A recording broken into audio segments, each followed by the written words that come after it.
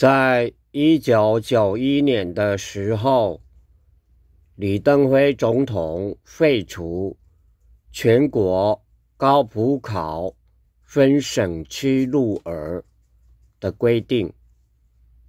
这个规定呢，是一九四五年外省政府来台湾之后所所规定的。也就是说，高普考录取人数是按照当时全国人口数来算。这个省如果人口数每超过三百万人，就录取五个。好，那每增加。一百万就增加一个一个名额，那我们来看看，当时来台湾，一九四八年这个人数人口数是一九四八年所所登记的，当时来台湾的四川省总在全中国了哈，一九四八年的时候。总人口数是四千八百七十二万啊，这里四八七二三零六零，而录取名额呢五十个，为什么？因为每三百名就五个嘛，那每增加一百名就一个，那它的人口数。四千八百多，这样算下来可以录取五十个。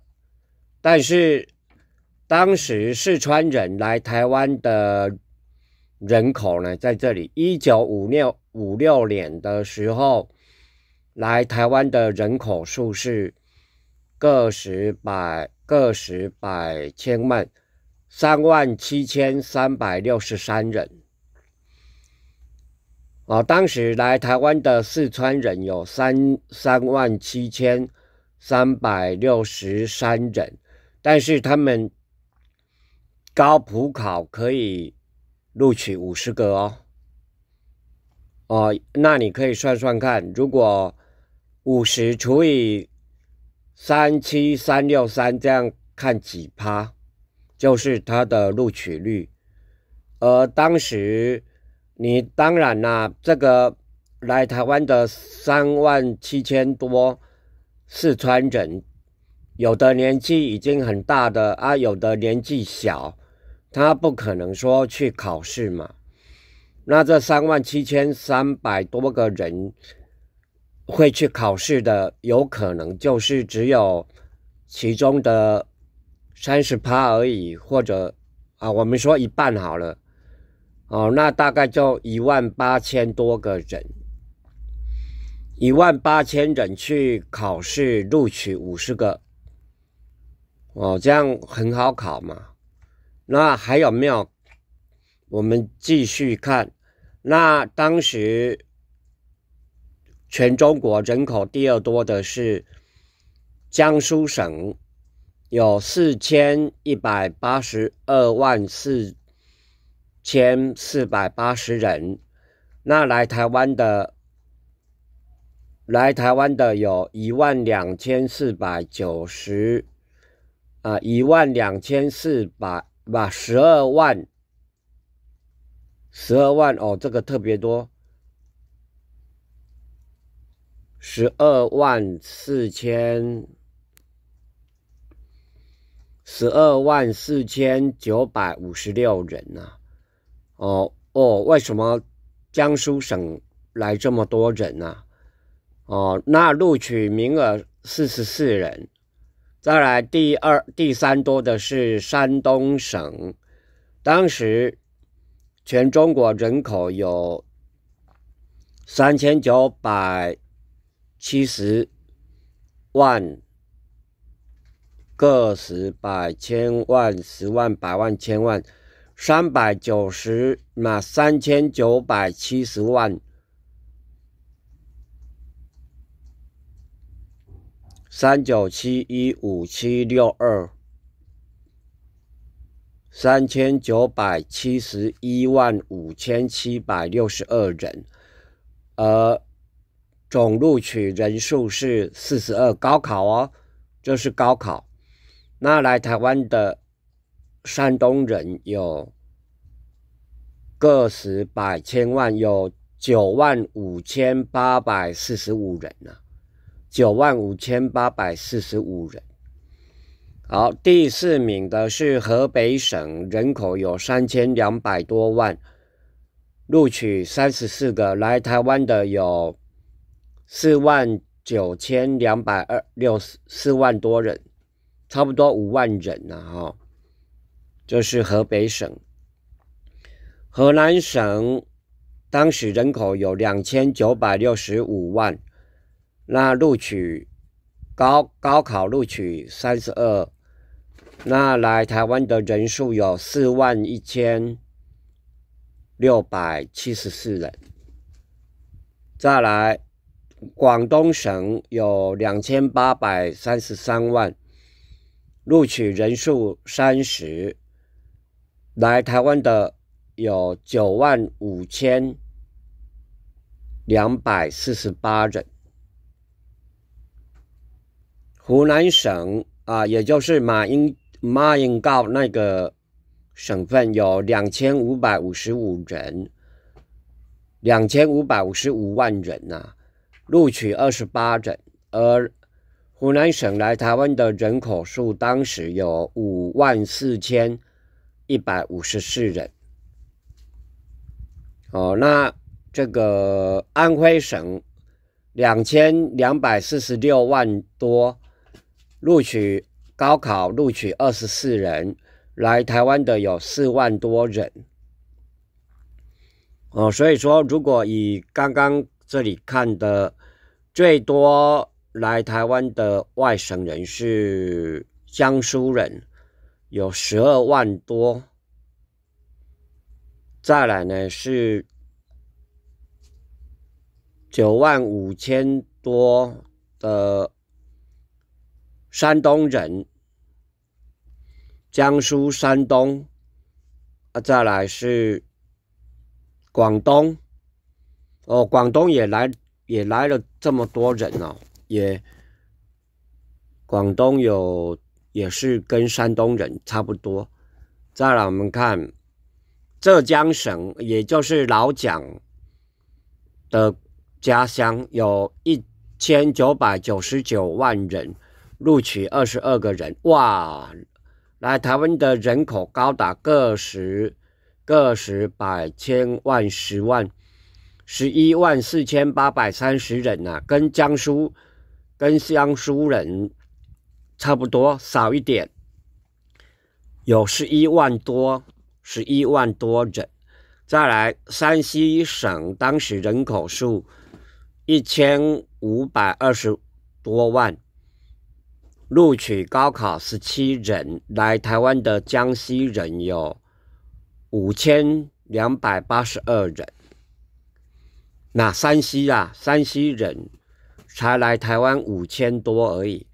哦，再来广西省一千四百六十三人，录取十十七个高考。那来台湾的有一万。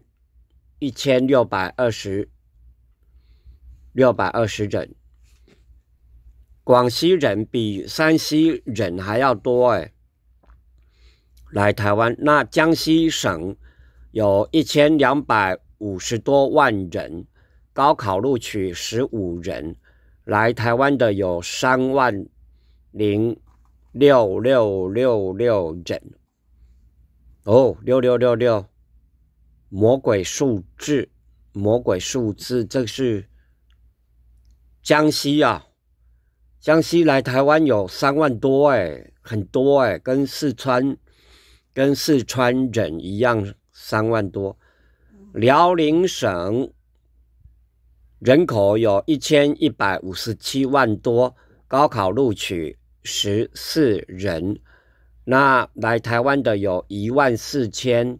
零八十四人，哦，这样也算不少了。辽宁省、福建省啊，跟台湾人讲话口音差不多的，有当时全中国人口有一千一百一十四万多人，录取十三个。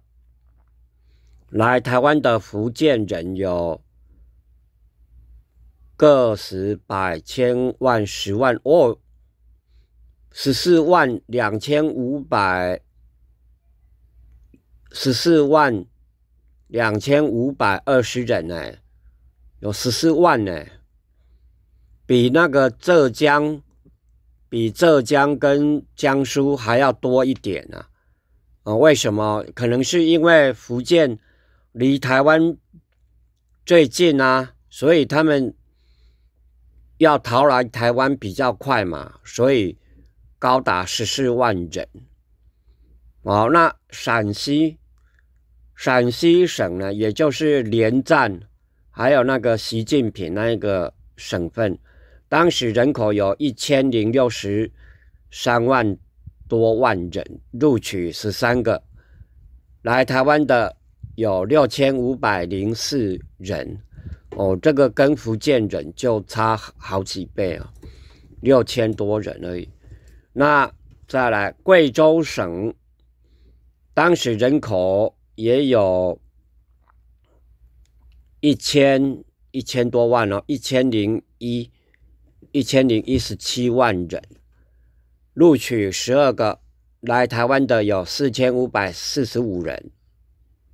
啊，再来，云南省有九百零六万多人来台湾，来台湾的有五千七百一十六万人，录取高考人数十一万人。好，再来，甘肃省当时人口有七百零九万人。录取高考九人，来台湾的有一千三百五十八人。甘肃人在台湾好像不多。来吉林省，当时人口有六百四十六万多人，录取八个。呃，来台湾的有两千零六十五人。台湾省，当当当，当时台湾的人口有六百二十二万一千六百八十九人，比吉林省少一点，录取人数八个。六呃，当时哦，这个这个数字啊特别多，六百二十二万，因为这个就是台湾人嘛。哦，啊，台湾人在台湾的台湾人啊，就是就是这个数字哈，前后两个数字一样的，就只有只有这里而已。台湾省，啊，其他为什么说是外省人？哦，就是因为这个是他们在自己自己的省份的人数哦，然后。这边呢是来台湾的人数，哦，那来热河省呢有六百一十九万六千九百七十四人，录取八个，来台湾的有七百八十九人。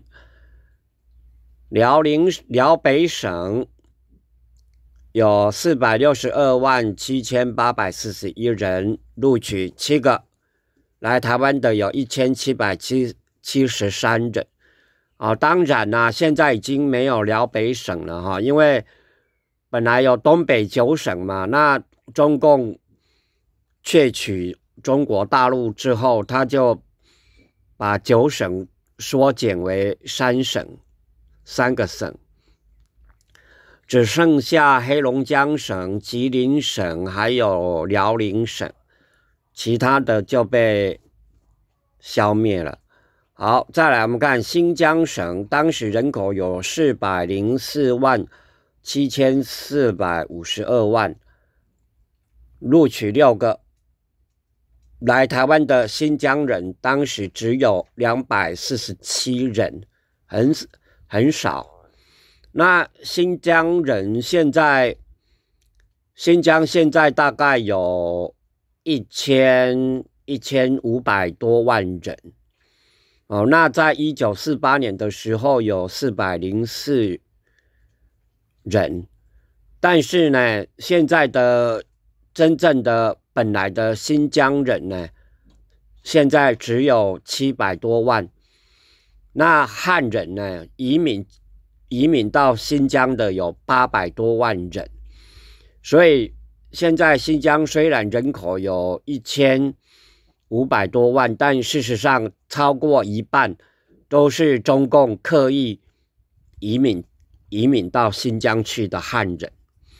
而真正的新疆原住民呢，也就是维吾尔人呢，只有七百多万。那在在很久以前的一九四八年是四百多万，也就是说，中共统治统治新疆那么多年呢，新疆人的人口增加还不到两倍哦。其他呢都是移民进来的。再来，嫩江省有三三三百三十三万三千四百零九人，录取五个来台湾的有四百七十九人。当然啦，嫩嫩江省已经不存在了哈，被中共给废掉了。好，再来，松江省有三百三十三万零八百零六人，录取五个。来台湾的有八百七七十七人。再来，安东省有两百九十二两百九十九十九万两千三百零五人，录取高考人是五个。来台湾的有一千六百二十三人哇！安东省呢，来台湾的算是东北九省里面第二高的哦。哦，你看这个辽北省来了一千七百七十三，而这个安东省呢来了一千六百二十三。哦，其他的东北的都没有超过一千哦。这个辽北跟安东来台湾的比较多，为什么？可能是因为他们靠近边界吧。安东安东是靠近北韩，但是辽北。没有啊，辽北算是比较里面啊，所以可能跟位置没有关系关系。好，再来我们看绥远省，嘛，黑龙江省啊，黑龙江省也是也是在东北，当时的人口有两百八十四万多，高考录取五个。来台湾的有五百五十六人，绥远省的有人口数两百二十三万多，录取高考五个。来台湾有三百八十三人，察哈尔省有两两百一十八万多人，高考录取五个。来台湾有五百五十人，合江省有一百八十一万多人。录取高考五人，来台湾一百九十二人。将呃西康省有一百六十九万多人，录取五个，来台湾三百一十三人。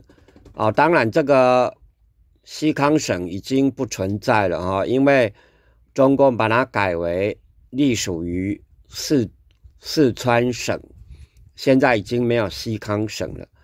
西藏地方啊，人口有一百多万，录取五个，来台湾的有十六个，哇，这个应该是录取率最高的啦，五除以十六哦，三十几趴哦，也就是说他们有三三个三个就会一个高考及格哈，因为他们来台湾才只有十六人，而如果这十六人呢全部来参加高考，那其中五个人就会。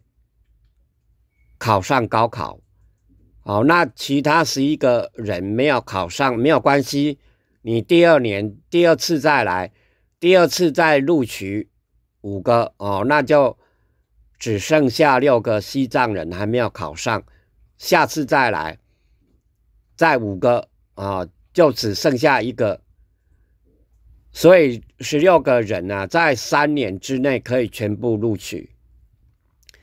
只剩下一个，那一个可能可能他他他不想考哦，因为他可能早就已经在当大官呢，他不用考试哈。好，宁夏省有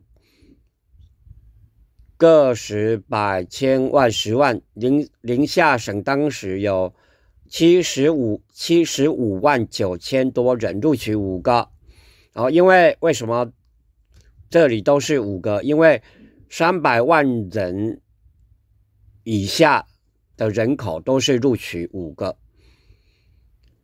好，来台湾的有八十八人。新安省啊，现在已经不存在的新安省，人口三十二万人，录取五个。来台湾的有九十八人。好了，看了这个以上的。数据呢，大家呢就知道说，在过去啊，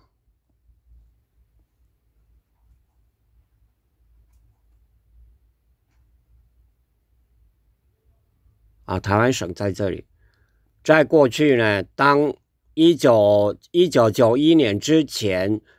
外省人来台湾考试，在台湾考试真的是要高普考，真的很简单呐！哈，高普考及格，你就是公务人员哦。现在这里看的是高考哦，啊，普考也是一样哦，都是有保障名额啊。这个这种制度呢，在中国历史以来呢，从秦朝到。从有有高考制度的唐朝以来呢，到隋朝啊，高考制度是从隋朝开始的哈。从隋朝到民国呢，以来就就只有民国在台湾才实施这种分省分省呢保障名额。这种制度，啊，以从隋朝到民国以外的朝代，从来没有没有考试制度是这样的，绝对不会分省，也不会说按照省份的人口多寡来来这个录取哦，就是你凭本事，不管你。那一省人口多少？你大家来考试一律平等，你成绩好就录取哦。但是这个外省政府来台湾实施的却不是这样哦。所以说，当时虽然在台湾，台湾的人口高达六百多万，但是台湾人只能录取八个，而而你看那个四川人。还有人口来台湾的外省人呢？哪一个录取人数最多？就是四川人啊！四川人录取率、录取人数高考哦，只有高考哦，高达五十个哦。啊，如果再加上普考，那那就是一百一百人，而他们来台湾才三。三万多人，三万七千人，哦，但是我们台湾人在自己的土地上，我们只能录取八个，哦，但四川人可以录取五十个，哎。如果说那一年呢，哈，那一年的那一年的高考，全中全台湾录取一百个，那台湾人就只能录取八个，然后四川人有五十个，那剩下，假如说他们他们有那么多人去考了，哈。有很多人去考，超过五十个人去考，好，然后他们录取五十个，那这样就有五十八个名额没了。台湾人只有八个名额，那剩下四十二个名额，好，可能是第二个江苏，江苏省录取四十二、四十四个人嘛，哦，那四十八个再扣掉四十四，哦，就。差不多了哦啊，不管不管怎样啊，反正台湾人就是一百个人里面，你只能有八个录取，其他都是外省人。哦，这不可思议吧？哦，当时台湾人有八百，那有六百多万人呢，啊，但是台湾台湾人才只能录取。六个，那八个啊？而外省人可以录取，单单四川人就可以录取五十个。而要知道哦，当时，呃，这这种制度啊，绝无仅有，可以说是中国有史以来最不公平的、最荒唐的考试制度。这个高考跟普考就就是国家选拔人才的的制度嘛，历朝历代从来没有这样这样乱胡搞瞎搞的，这就是为什么外省政府在台湾会搞砸的原因，就是你选拔国家的人人才，竟然是这样。这样子选拔，这有什么弊端呢？譬如说，譬如说，来，呃，他他的省份人口很多，所以他的录取名额很多啊。譬如说，这个四川省，他录取五十个，啊，来台湾有三千，有三万多人，但但你要知道哦，这三万多人都是士兵哎，都是阿兵哥哎。当时来台湾的外省人，大部分都是士兵嘛，他们都没有读过多少书啊，没让读车啊，但只会打仗而已。哦，他们年纪轻轻就被抓来当兵，所以他们不会读书。但是因为有保障名额五十个嘛，所以这三万七千多人，他们其中有人去考试，要考高考。他考卷他根本不会写哦，因为欧北欧北下考试考到一半他就趴在那边睡觉。哦，他但是因为他有保障名额嘛，而且他他们还可以加分哦，加可以加到二十五趴，都就是一定要你上就对了啦，所以说他虽然只是。真正的程度只是国小毕业、国中毕业当兵的都没有读过什么书，但是因为有保障名额五十个名额，还有加分二十五趴，他轻轻松松他就上榜了。他回家，他向邻居炫耀说：“哎，我高考及格哎，哎，我在当兵的时候是只只会数馒头的阿当兵阿当兵，但是我现在高考及格。”啊，我即将啊要到省政府去当呢高级高级主管啊，我要去当高级的主管啊，哦，这就是为什么台湾的贪污官员贪污会那么严重，都是因为这种莫名其妙的考试制度所导致的。哦，即即使啊，号称啊历史上说最歧视汉人的元朝政权，元朝的考试制度也不是这样哎。元朝的时候，他们也有高考，但是虽然说他们对汉人有提备、有提防，但是汉人来考试。